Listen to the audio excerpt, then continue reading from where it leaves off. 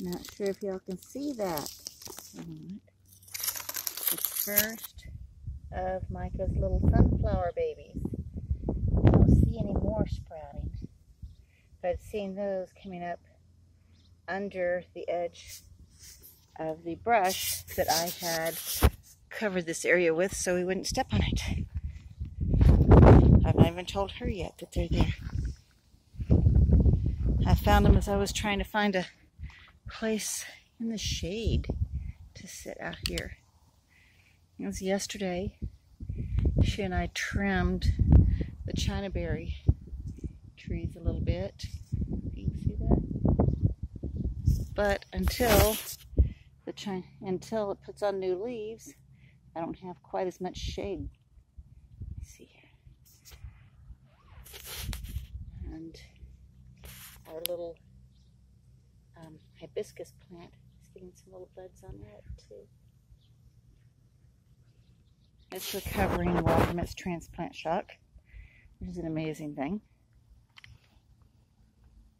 Micah is over there. Let me see. Get my glasses on so I can see if I've got her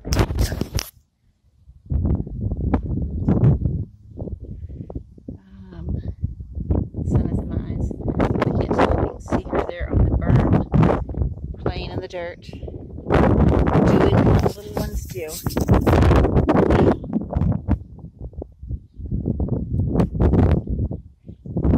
Once again, I didn't do nearly as much this weekend as I had hoped to do, but that's quite all right. Every little bit I get done is a little bit more that's done.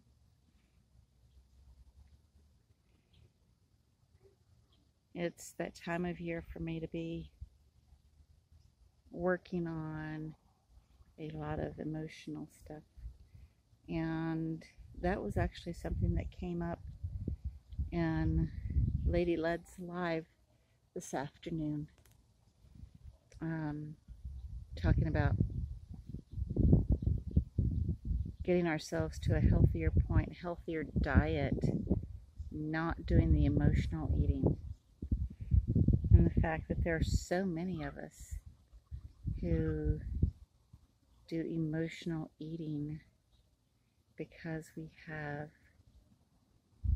things that we need to process through. And a lot of times it's easier to just grab an unhealthy snack than to deal with even start to think about looking at whatever it is that's triggering us into having an emotional response.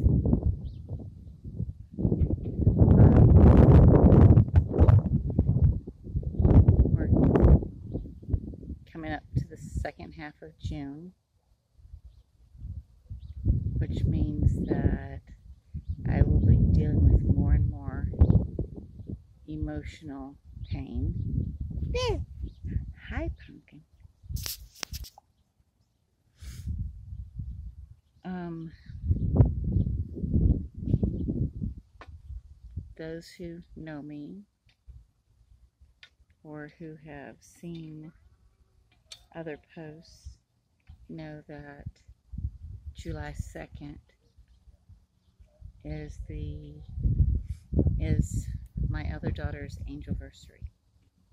That's when Maxine left us to rejoin God in heaven.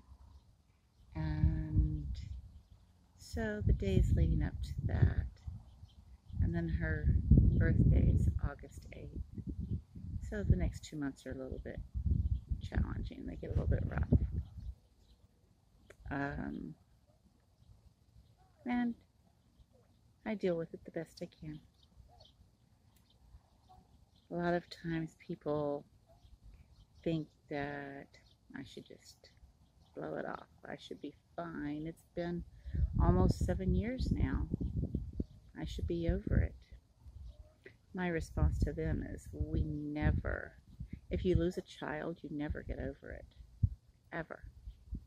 So don't even ask a parent to get over the, don't expect a parent to ever get over the loss of a child. It's just not going to happen.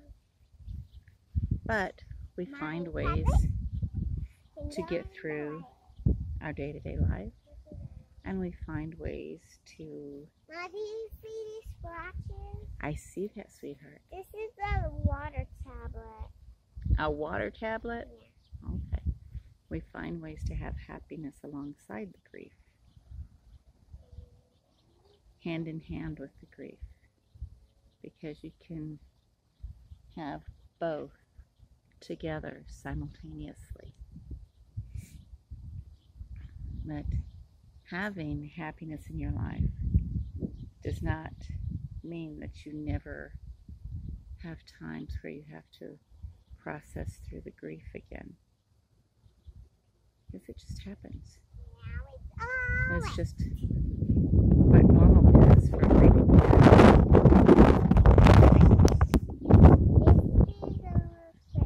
So, one of the things that work on is improving my diet. Because we all know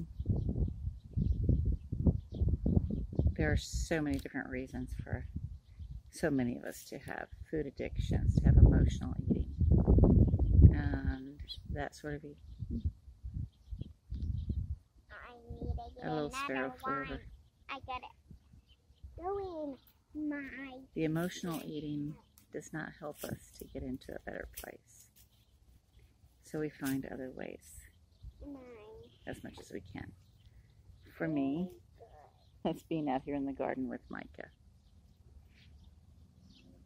I used to write before we lost Maxine. When I had emotional things going on, I would write. I haven't been able to do that in Yeah. se- nearly seven years now. I attempted it for a little while, but uh, and I've attempted it recently. It's Just very difficult, especially when you have a very active little one to focus on. She's sitting here next to me now, playing in the grass. Her beautiful green grass. I think we probably need to turn the water off now, though. What do you think? About time to turn the water off? I think it's been going about 10 or 15 minutes. It's about all the time we need to go. The things that we do here in the garden help. Help me focus on other things. Help me focus on God's blessings. And I know there are many other people in this world who use their gardening to help them work through whatever they have going on emotionally. It's very, very therapeutic. Um, it's just, it's coming up on that time of year where it's going to be a little bit more difficult. But I will keep doing this going. Keep doing what I can. And focus on eating. Because eating unhealthy foods, foods loaded with sugar, white breads, white pasta, white rice instead of whole grains, sodas, uh, and even worse than sugar are the artificial sugars, which is even worse than sugar those cause inflammation, which causes pain, which does not help when you're dealing with your emotional issues. Your emotional pain. The physical pain contributes to the emotional pain. We think a lot of times that it distracts us from the emotional pain, but it doesn't really. It just sidetracks us in our healing process. So, keep gardening, keep working on those little things because we all have emotional things to do. I've never met anyone something to work on. Hey, baby. And guys, Hmm? did you know I have a swimsuit on You have your swimsuit on. to play in the water, but I don't want to play in the water. Then go play in the water. I said I don't. Oh, you don't want to play in the water anymore? Yeah, Okay, well, can you go turn the water off for mommy? I just want to spend some time with you. What? Hey, back up, back up. No, what? I'm not spending time with you. You want to spend time with me? Can you go turn off the water and then sit on my lap? I want to do what I do. Hmm? I want to do the. Don't understand that. You're being goofy. I said I didn't. I didn't want to do it right now. Mm. Okay. Don't step in. Don't step in the patch. Go around it, not in it. You just about stepped on them.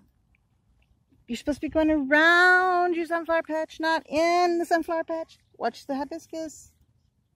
Why did you decide to come right through everything, sweetie? Ah, little ones. Interesting. And I'm not sure who that is driving past our house and slowing down.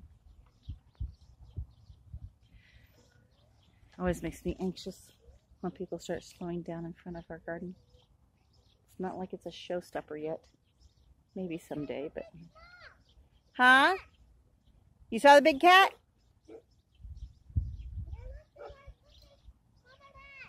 Oh, you think it was cupcakes, mommy or daddy? Okay. Well, it took off. But did you look at your? Did you see your sun? Your baby sunflowers?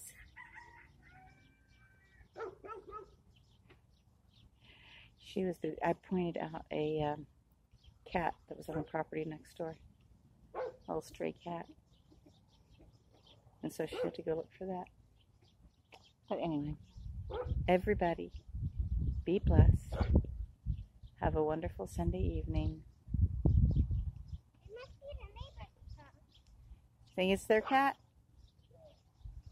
I think it's a wild cat. A feral cat.